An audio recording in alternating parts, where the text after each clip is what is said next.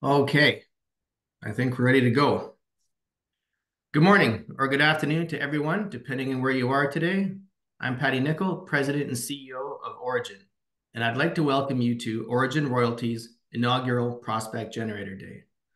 This event and other events like this that will come in the future are designed to inform our exploration partners, interested technical people, shareholders, and investors on projects that have been generated internally and are available for option or sale.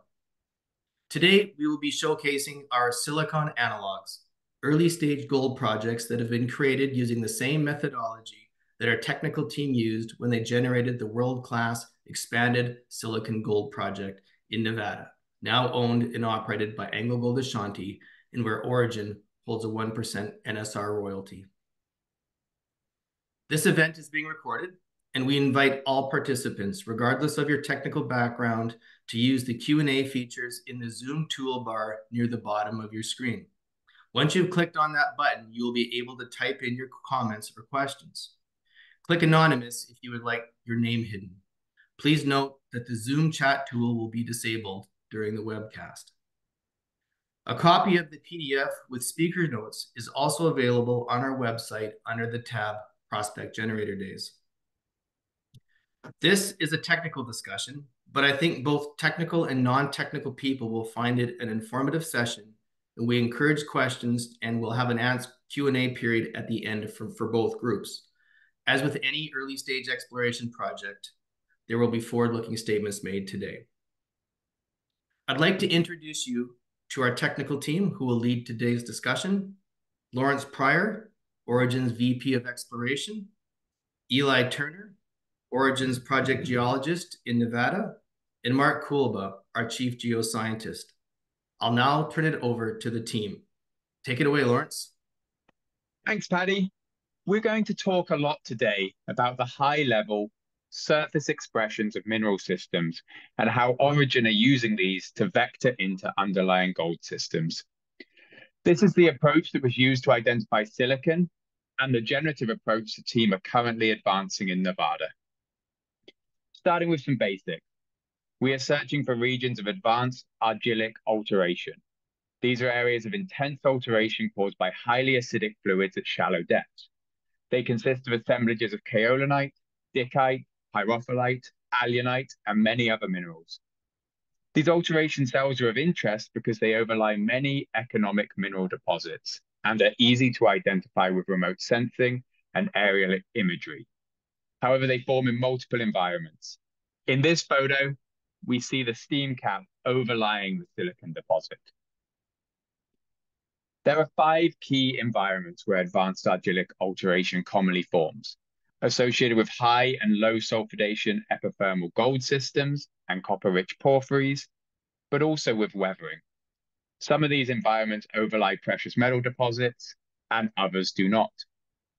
On this figure, we see a schematic of a low sulfidation gold system, displaying the shallow expression of a steam cap up here in yellow above vein and disseminated mineralization.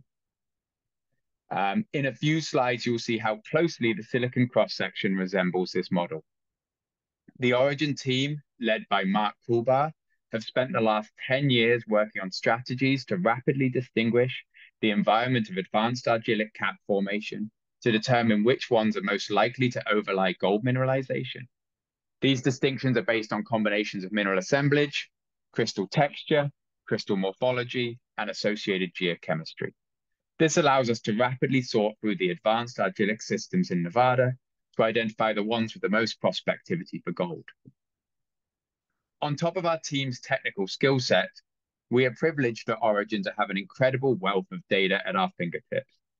In Nevada alone, we have over 100,000 proprietary geochemical analyses, with an additional 100,000+ integrated and quality-controlled public data points. The database also contains 5,000 PDF project files, two statewide magnetic data sets, and reports from hundreds of past exploration campaigns. On top of this database, Mark Kulba has processed all the AVIRIS data available.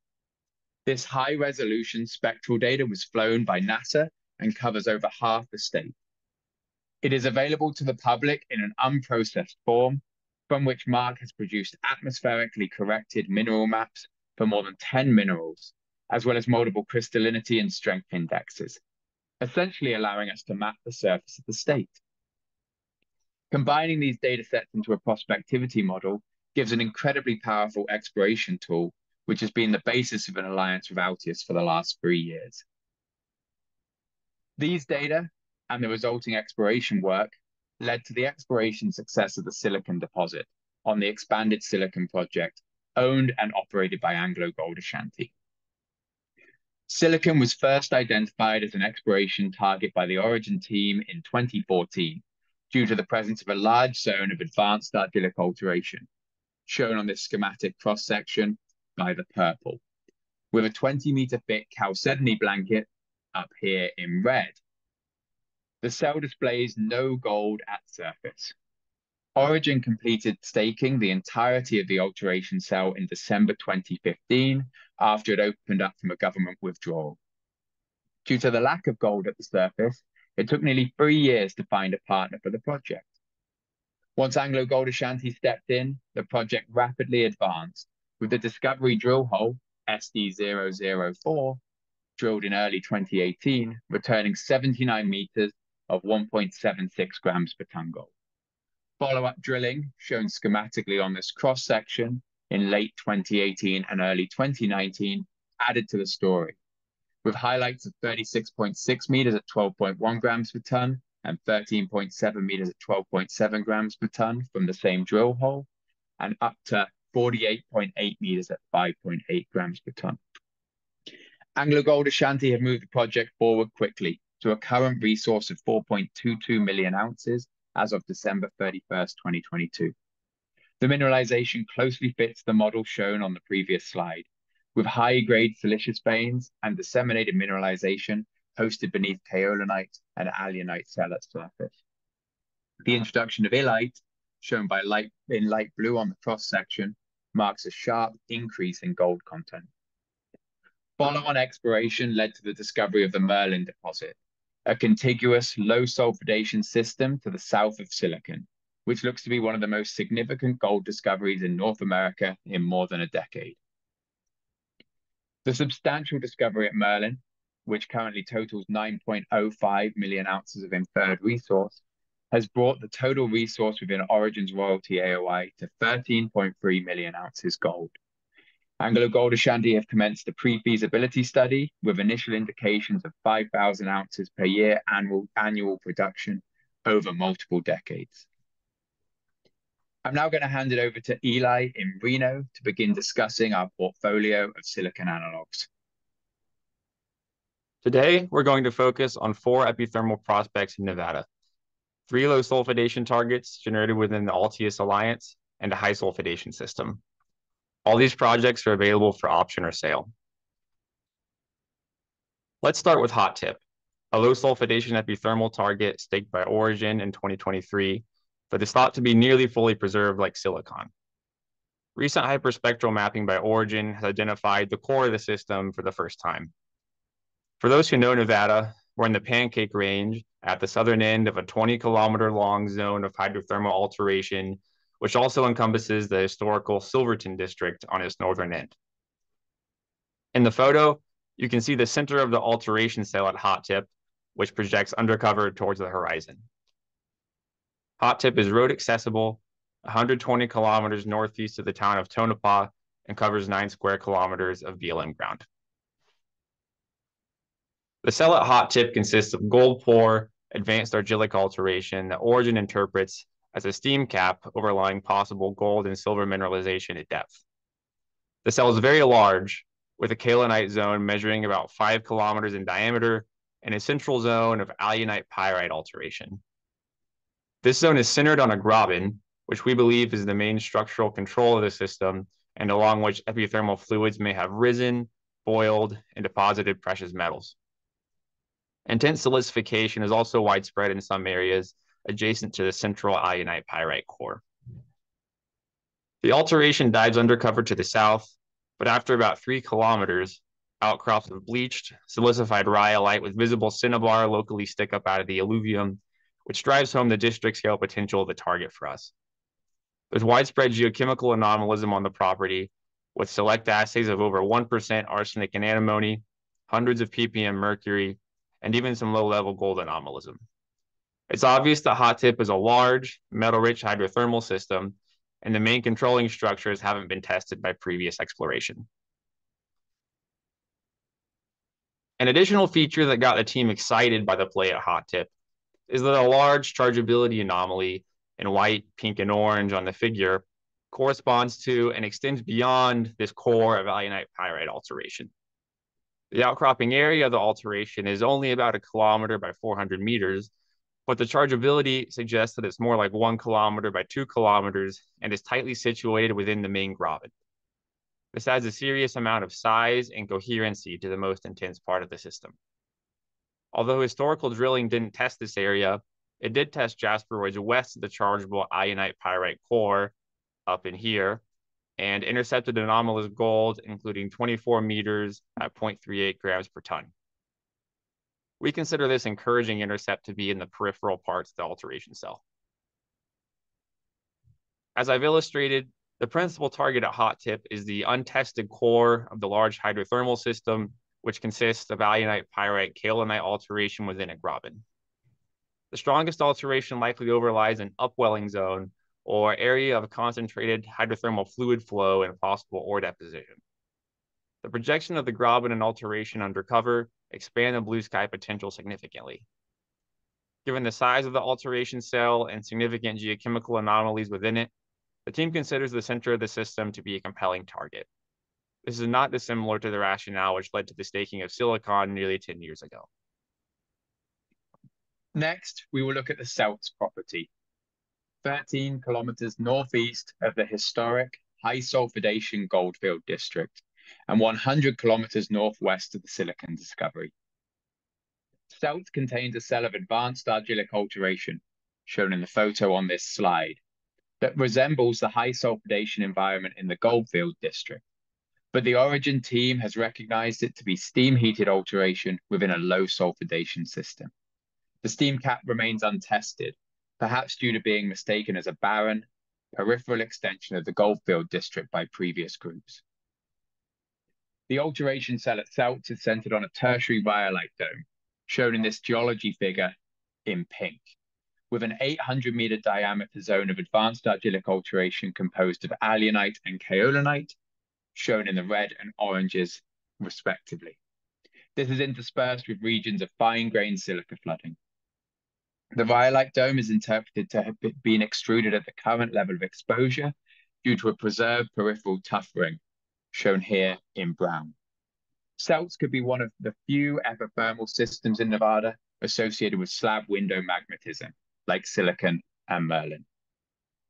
Also like Silicon, there is no gold at surface in the steam cap, but peripheral gold, including grab samples of up to 33 grams per ton, occur in quartz veins associated with illite and adularia at lower elevations, one to two kilometers from the dome, down here. Additionally, historical drilling near the gold button shaft up here returned 4.1 ppm gold over a meter and a half in a shallow drill hole. Within the rhyolite dome, flow banding show, uh, in, shown by these colored dots steepens towards a central north-south corridor that was likely the magmatic vent during dome formation.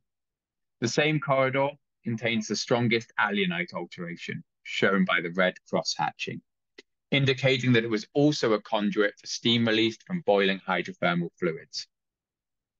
The alunite is fine-grained, end-member, potassium-rich alunite, and is associated with fine-grained kaolinite and opaline to chalcedonic silica, consistent with formation at shallow levels in a steam cap. The area is a principal structural target for drilling. Taken together, the steam cap and peripheral gold-bearing mineralized structures define a four square kilometer play. The Celts property contains high-level steam cap exposures and has the potential to host low sulfidation gold mineralization at depth as evidenced by peripheral gold showings in topographic lows. As shown on the below cross-section, Orogen envisions a target at Celts consisting of structurally controlled zones at depth beneath advanced argillic alteration, with the surrounding mafic volcanics, shown here in green, acting as an impermeable cap to the mineralizing fluid, such that the gold mineralization may cover a much greater area than the steam cap. The property is on road accessible, BLM land, with a clear and unencumbered pathway to drill testing. Nevada is a mature jurisdiction where exposed veins at surface have been explored and exploited for decades, hence necessitating the need for advanced exploration strategies using the mineral systems approach that identified silicon, hot tip, and Celts. However, in rare circumstances, geopolitics creates opportunities to stake bonanza grade, undrilled veins at surface. Firenze is an example of that. Located 170 kilometers east of Reno, the 90 claims are on BLM ground with excellent road access. At Firenze, the Orogen technical team identified an opportunity to stake a 1.5 square kilometer zone of outcropping gold-rich epithermal veins, which have recently been released from a wilderness study area. The release is shown here by the grey cross hatching. Minor artisanal production had occurred after discovery of the veins in the 1860s, but they had never been drilled, as Firenze had been in the wilderness study area since 1980, prohibiting drilling and project advancement. Firenze was released in December 2022 and staked shortly thereafter by the Reno-based team. Sampling of the Bonanza grade vein material from historical workings up here returned up to 43.9 grams per ton gold with 534 grams per ton silver and 22.5 grams per ton gold with 1825 grams per ton silver. The outcropping quartz adularia veins are up to 1.5 meters wide, occur with illite, kaolinite, acanthite, and silver sulfur salts, and are hosted within a rhyolitic intracaldera tuff. These geological characteristics are typical of the boiling zones of epithermal systems. Veins, precious metal grades, and alteration mineralogy extend up to the contact with post-mineral alluvium to the east, here on the figure shown by the orange polygon, and presumably extend undercover. An upthrown horst block down here in blue uh, immediately to the east of the Firenze veins indicates cover is shallow for a distance of at least a kilometer and a half out into the pediment. The shallow alluvium hosts an accommodation zone developed in basin bounding faults east of the outcropping veins, as shown here on this figure, which displays the quaternary faults of the Edwards Creek Valley. Some of these faults have quaternary motion, but considering the maturity of the basin and range topography, the faults are likely to have been active during the tertiary. This zone may be the primary structural control at the core of the epithermal system, with the outcropping veins representing the lateral, outlying parts of the system. This is similar to the setting of the high-grade Sleeper deposit in Nevada, discovered in the 1980s, which was under shallow alluvial cover next to alteration and mineralization exposed in the slumbering hills. The Sleeper deposit produced nearly 1.7 million ounces of gold from 1986 to 1996 from famously high-grade veins and surrounding stockworks, that returned head grades over 25 grams per ton.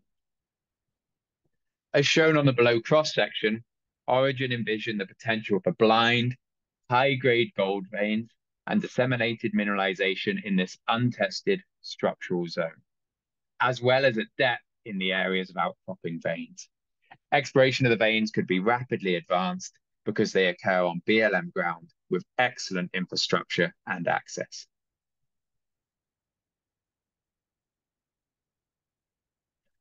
Now onto our final project, Pearlstream. As discussed at the start of this presentation, Orogen's technical team have spent the last decade learning how to distinguish between styles of advanced argillic alteration associated with gold mineralization. Up to now in this webinar, we focused on cells associated with high sulfidation, with low sulfidation epithermal systems, excuse me, like silicon. In other cases, cells can indicate the potential for high sulfidation gold systems hosted by quartz and alunite, which have similarities to low sulfidation systems, but merit a different exploration approach. You can see typical high sulfidation alteration in this photo from Pearl String, which shows strong advanced argillic alteration. It contains narrow structures that run up to 12 grams per ton gold. Pearl String is a data-rich project with multiple layers of geophysics, framework drilling, and a robust drill-ready target concept. The project consists of 201 claims covering approximately 17 square kilometers of BLM ground, located 150 kilometers southeast of Reno and 30 kilometers north of the town of Hawthorne. At Pearl String, Orogen's claim position covers the northwestern portion of a 25 kilometer long trend of 20 million year old advanced argillic alteration. The alteration trend shows widespread gold anomalism, and at its southern tip, Fortitude Gold is actively producing from the high sulfidation Isabella Pearl mine. The region has been dissected by multiple post-mineral faults, including the Dextral Gumdrop Fault, shown here, which is an important feature of Pearl String. A new model of post-mineral faulting based on work by the Orogen team shows the potential for a multi-million ounce target beneath alluvial cover at the north end of the property. Alteration at Pearl String is controlled by northwest trending normal faults, but has also been offset by post-mineral faults with similar orientations. Post-mineral faults include relatively young right lateral strike slip structures associated with Walker Lane deformation that have been studied in detail by academic geologists, most notably the Gumdrop Fault. However, they also include concealed post-mineral normal faults that are older than these strike slip structures and whose importance has only been recently clarified due to new constraints from drilling by a previous partner.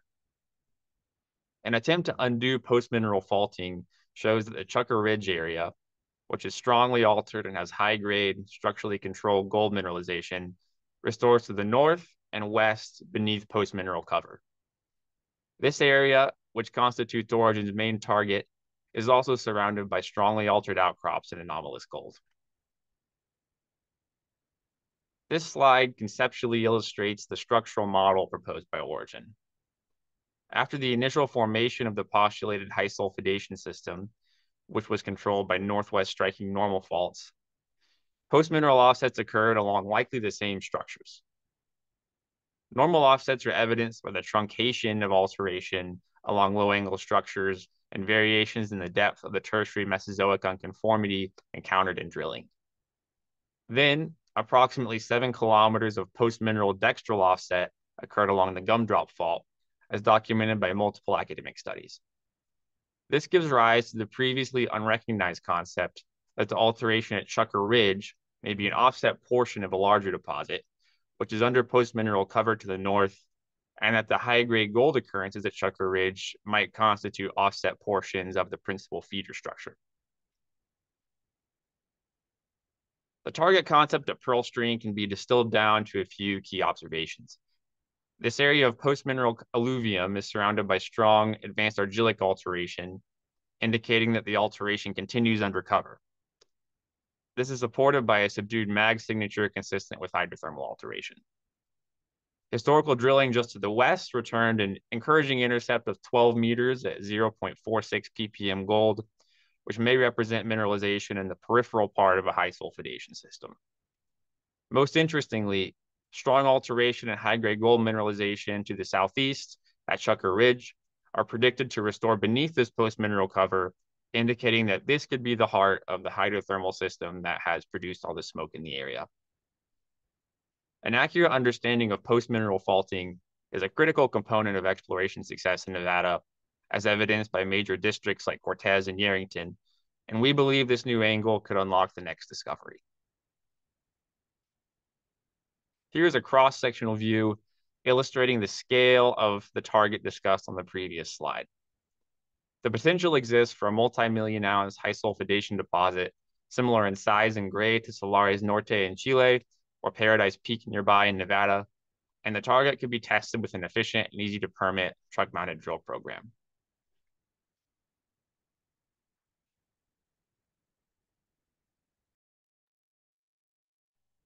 Great. Thanks, Eli, and to Lawrence for that. Uh, Orogen's-based Reno team, Orogen's Reno-based team, technical team are continuing to develop epithermal targets in Nevada in partnership with Altius Minerals. In addition to these targets, an exciting new project is evolving based on the acquisition of new high-resolution spectral data in a remote corner of Western United States, not covered by the historic AVIRIS. This work has identified several large undrilled alteration cells, and the team are excited to get on the ground in the coming days to advance these targets. We believe demand for these targets is going to increase as AngloGold Ashanti continues to advance the Silicon Merlin target, with 12 drill rigs on site focused on enhancing the modeled mineralization, and as the full magnitude of the opportunity for world-class epithermal systems within this region becomes more apparent. Orogen's portfolio represents early-stage drill-ready targets ready for option or sale, and more details, including full technical presentations, can be found on our website. So we look forward uh, to your questions now and future discussion. Uh, for those of you who attended late, um, we'd like to remind you the event's being recorded, and there's Q&A features at the bottom of the Zoom toolbar. Once you've clicked on that button, you'll be able to insert comments, questions, and click Anonymous if you want your name to be hidden.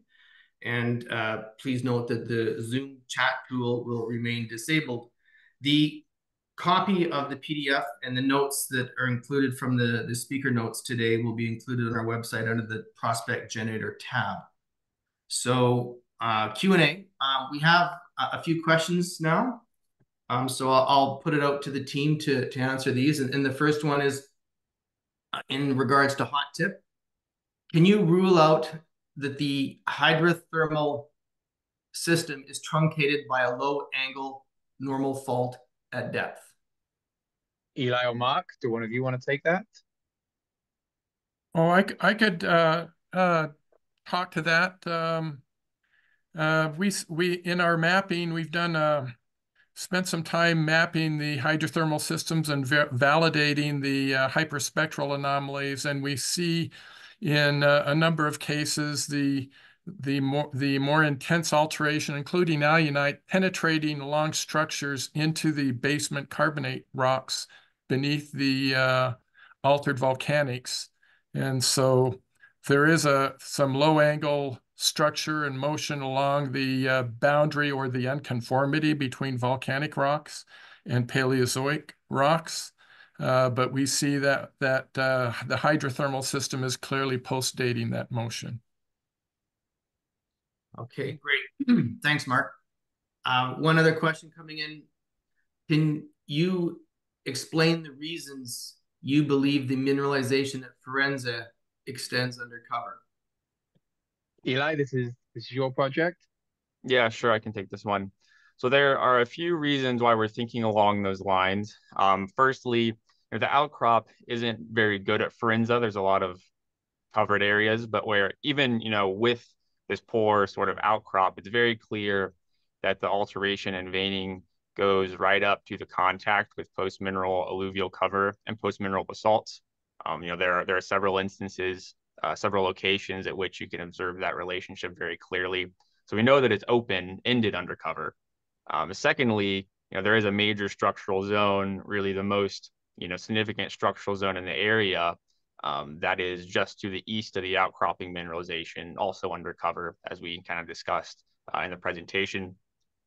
And then thirdly, I mean, you know, of course, we don't know for a fact that the mineralization extends undercover and is associated with this major structural zone, although that's certainly a valid geological hypothesis.